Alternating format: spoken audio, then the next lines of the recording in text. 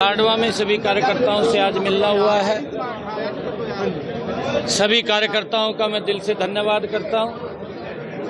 उन्होंने जो इतनी गर्मी में मेहनत और पसीना बहाया है, डबल इंजन सरकार की नीतियों को घर घर तक पहुँचाने का काम हमारे कार्यकर्ताओं ने किया है।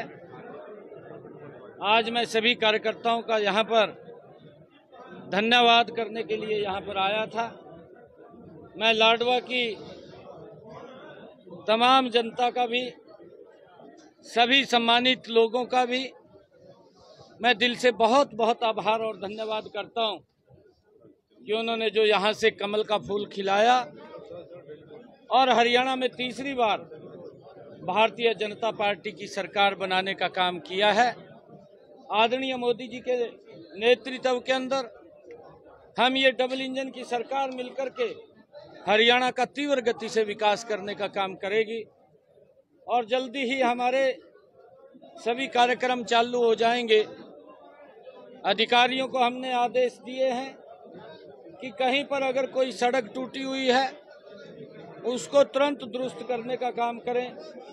अगर कोई पैच वर्क लगाना है तो पैच वर्क लगाने का काम करें। और अनाज मंडियों में धान की आवाक गति से आ रही है। हमारे किसान को भी किसी प्रकार की कोई समस्या दिक्कत ना हो।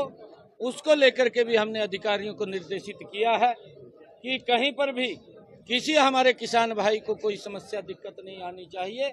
उसकी व्यवस्था वो सरकार ने पूर्ण रूप से की हुई है। दिल्ली की दिल्ली की सरकार कह रही है पोल्यूशन को लेकर हरियाणा सरकार जिम्मेदार है। देखिए दिल्ली के लोग तो मलाई खाने वाले वो केजरीवाल साहब हैं उसमें लोगों की समस्याएँ तो दिखती नहीं।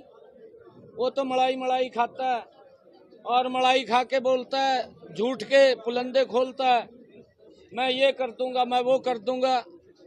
उसने पहली बार जब वो दिल्ली के लोगों ने उसको मुख्यमंत्री बनाया था, उसका सबसे पहले बयान ये आया था कि मैं यमुना को क्लीन करूँगा, स्वच्छ करूँगा सबसे बड़ा पोल्यूशन तो स्वयं केजरीवाल है कि उसको भी वो पूरा नहीं कर पाया। जो यमुना को क्लीन करने की उसने बात की थी, वहीं पर 28 नाले उस यमुना के अंदर आज भी जा रहे हैं।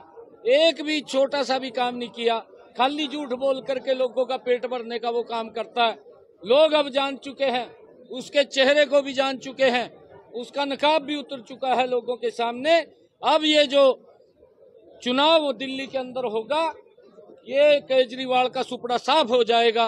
भारतीय जनता पार्टी बहुत बड़े मैंडेट के साथ वहाँ पर सरकार बनाएगी और लोगों की अपेक्षाओं के ऊपर जिस प्रकार से हरियाणा में लोगों की अपेक्षाओं को पूरा करने का काम ये नरेंद्र मोदी जी के नेतृत्व में डबल इंजन की सरकार कर रही है दिल्ली के अंदर भी करेंगे। सर आरोप लगाया है? सर एसपी का आरोप लगाया है उसको लेकर क्या कहेंगे? महिला आयोग ने तलब भी किया है दोनों जाँच चल रही है।